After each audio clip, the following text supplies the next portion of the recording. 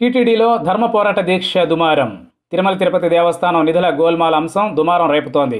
గత ప్రభుత్వ హయాంలో ఢిల్లీలోని టీటీడీ ఆలయ నిధులను దారి మళ్ళించిన వ్యవహారంలో టీటీడీ విజిలెన్స్ ఏపీ భవన్లో తనిఖీలు నిర్వహించింది. దాంతో AP resident commissioner Praveen Prakash TTD local advisory committee chairman పదవికి రాజీనామా చేశారు. చంద్రబాబు హయాంలో నిర్వహించిన ధర్మ పోరాట దీక్షకు టీటీడీ ఆలయానికి చెందిన నాలుగు కోట్ల రూపాయలను దారి మళ్ళించినట్లు చెబుతున్నారు. ముందు టీటీడీ నిధులు ఖర్చు పెట్టండి. ఆ తర్వాత సర్దుబాటు చేద్దామంటూ చంద్రబాబు ఇచ్చిన సూచన మేరకే టీటీడీ నిధులను ధర్మ పోరాట దీక్షకు ఖర్చు చేసినట్లు చెబుతున్నారు.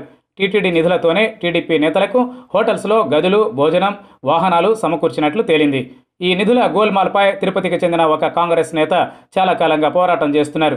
కానీ గత ప్రభుత్వం చర్యలు తీసుకోలేదు. ఢిల్లీ టీటీడీ ఆలయంలో అక్రమాలకు సంబంధించి ఒక అజ్ఞాత భక్తుడు పూర్తి వివరాలతో ఫిర్యాదు చేయగా TTD chairman YV Subba Reddy vigilance విచారణకు ఆదేశించారు.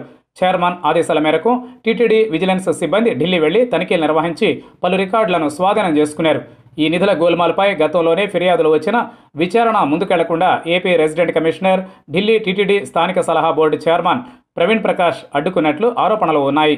అయితే హఠాత్తుగా ఢిల్లీ వచ్చిన టీటీడీ విజిలెన్స్ అధికారులు తనిఖీలు చేయడంతో షాక్ అయిన ప్రవీణ్ ప్రకాష్ అలా చేయడంపై మండిపడ్డారు.